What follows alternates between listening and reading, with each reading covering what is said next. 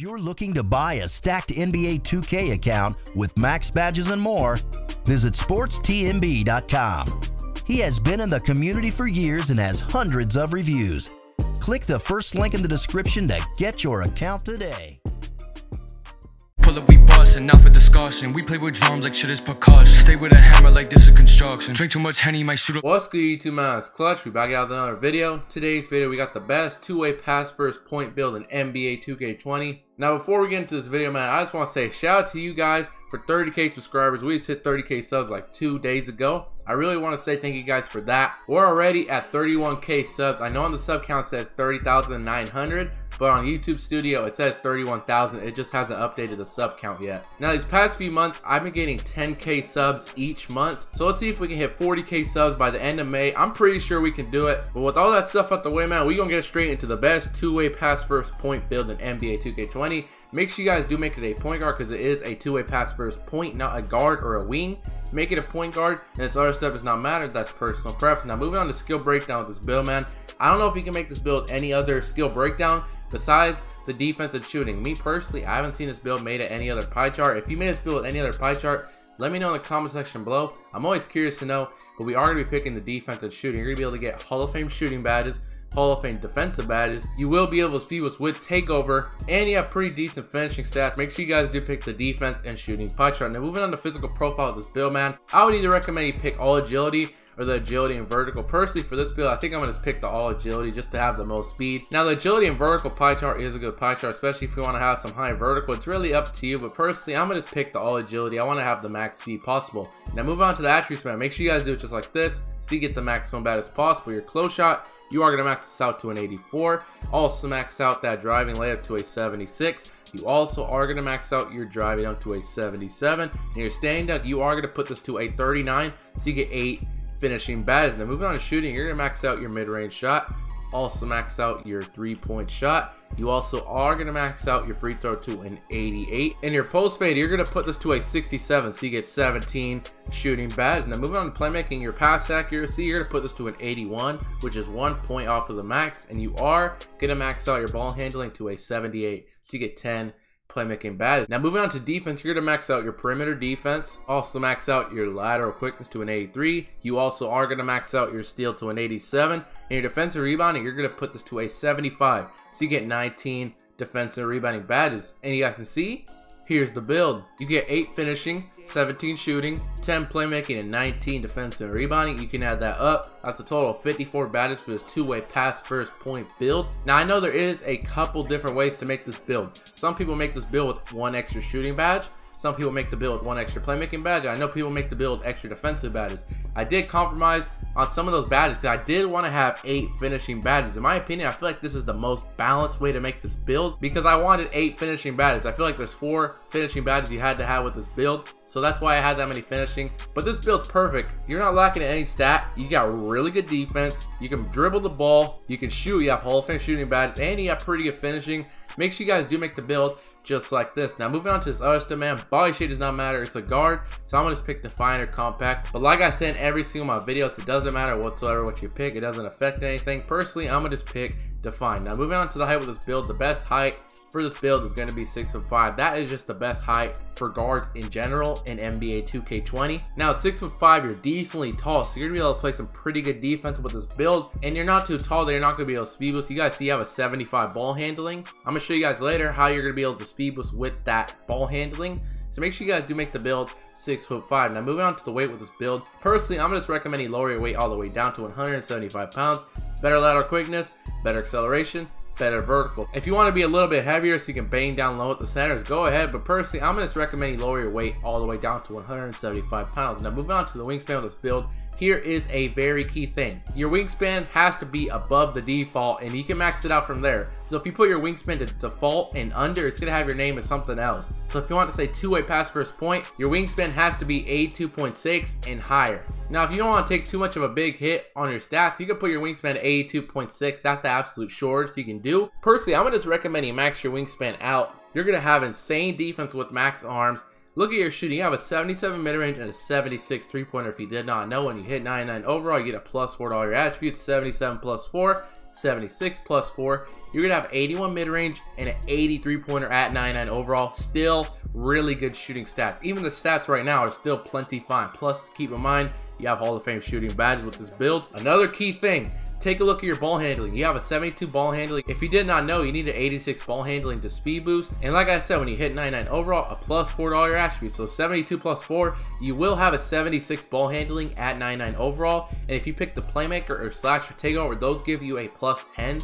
to your ball handling with takeover. So 76 plus 10, you're to have an 86 ball handling with this build at 99 overall. So you'll be able to speed boost with this build at 99 overall if you pick the playmaker or slasher takeover. So keep that in mind. I recommend you max your wingspan out. So you have way better defense. Now moving on to the takeovers with this build, man, like I just explained, you want a speed boost, you have to either pick playmaker or slasher. You're not going to be able to speed boost off rip you are going to have to wait to hit 99 overall to be able to speed boost. Personally, with this build, I feel like the best takeover is going to be Playmaker. This is pretty much an ISO build. I see a lot of people ISO with this build, so I personally recommend you pick Playmaker. Now, Lockdown Defender, if you want to play some really good defense, you are not going to be able to speed boost, but you still be able to get the tier 3 drill moves, so you'll be able to dribble pretty good without being able to speed boost. This will improve your defense a lot, and Sharpshooter, if you want to shoot better, go ahead. But personally, I would recommend you pick Playmaker Slasher. I'm personally recommending you pick Playmaker for this build. And you guys can see, Here's the build. You have built a two-way pass first point similar to Dejounte Murray, Steve Francis, and Stephen Curry. Very nice build, 54 badges. Now we're gonna get straight to the best badges for this build, man. If you guys still watch this video, man, make sure you guys do hit the like button, subscribe, put sub count real quick. Like I said, man, my goal by the end of the month is to hit 40k subs. We be getting 10k subs every month, so I'm pretty sure we can do that. But if you're watching this video right now, you like what you see, do the subscribe and turn on notifications. Now we're gonna get straight to the best badges for this build put us to 99 overall real quick. Let me take the sub count off. Give me a minute. Now you guys can see you have a 78 driving dunk when you hit 99 overall. That's a plus 4. So 78 plus 4. You will have an 82 driving dunk at 99 overall. Unfortunately, you're two points off of getting the pro contact dunk. So no contact dunks with this build. But at 99 overall, you're still going to have an 82 driving dunk. So you're to be able to dunk pretty good with this build regardless of having contact dunks. So keep that in mind. I did do 8 finishing badges and I already had this planned out. The badges I wanted to throw on, Silver Contact Finisher, Silver Giant Slayer, Silver Slithery Finisher, and Silver Fancy Footwork. These four badges, you have to have these four badges on this build, and that's why I wanted eight finishing badges. I wanted all these badges, so I did do these on silver. Contact Finisher, you want to finish in traffic, layups, and dunks, you are going to need this badge. Giant Slayer, keep in mind you are a 6'5 player. This badge will activate when you go up against anybody 6'10 or taller. It'll make it harder to block your layup or dunk, and it'll help you finish over taller defenders. You definitely need this badge. Fancy Footwork, the hop steps in this game are overpowered. That's a no-brainer badge. And Slithery Finisher, this badge to help you avoid contact at the rim and drive past your defenders. You gotta have these four badges on. I feel like these are gonna be the best finishing badges for this build. Moving on to shooting badges, this build, man, you have 17 shooting badges. I'm gonna recommend you throw a Hall of Fame quick draw. Now, I know most people are used to playing on gold quick draw because you don't have Hall of Fame shooting badges. If you're one of those people, you can throw your quick draw down to gold or even silver if you like a slower jump shot. Personally, I'm gonna do Hall of Fame. That is really just personal preference. 13 upgrades left. I'm also gonna recommend throwing Hall of Fame range extender. This badge right here is to help you shoot a lot deeper. I even see this badge activate on mid-range shots, so you definitely need this badge.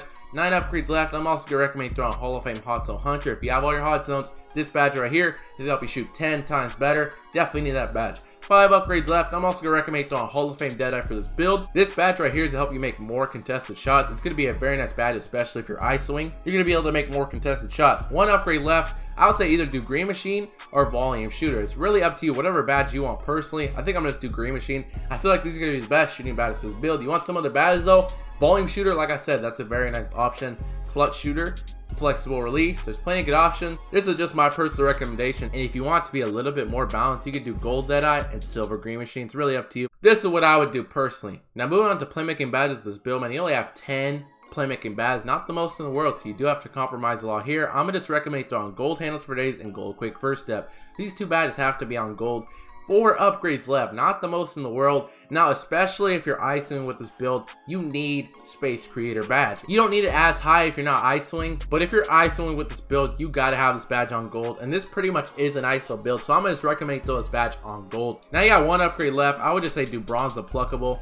10 upgrades is not the most for playmaking badges, but this is what I would do personally if it was up to me. But you can change the badges up, do whatever you want to do. Now moving on to defensive badges with this build, man, you have 19 defensive badges. That is a whole lot. I'm gonna recommend throwing Hall of Fame Clamps, Hall of Fame Intimidator, and Hall of Fame Pick Dodger. These three badges have to be on Hall of Fame. Hall of Fame pick dodge to help you fight through Hall of Fame brick wall screens. Intimidator is going to make people miss shots. And clamps is to help you clamp the opposing ball handler. You definitely need these three badges on Hall of Fame. Seven upgrades left. Keep in mind, you do have a max wingspan. If it was up to me, I would definitely throw on Hall of Fame Interceptor because I do like intercepting passing lanes.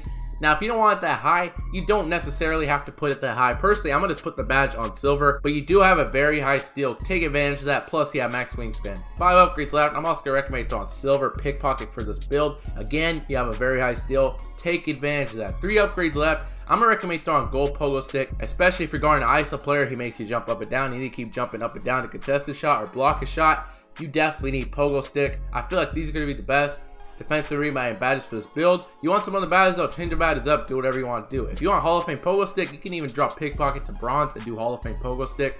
It's really what you want to do personally, but this is what I'm going to do personally. But that's pretty much it, man. That's the best two-way pass first point build in NBA 2K20. I hope you guys did enjoy this video. If you did enjoy this video, man, make sure you guys do it the like button, subscribe. Like I said earlier in the video, my goal by the end of May is to hit 40k subs. So if you're watching this video right now, you like what you see, do it, subscribe, and turn on notifications. We've been getting 10k subs every single month, so I'm pretty sure we can do it again. But that's pretty much it, man. Hope you guys did enjoy this video. Until next time, clutch out.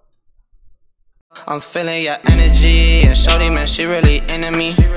I got lots of enemies, and they wanna act like they friends with me.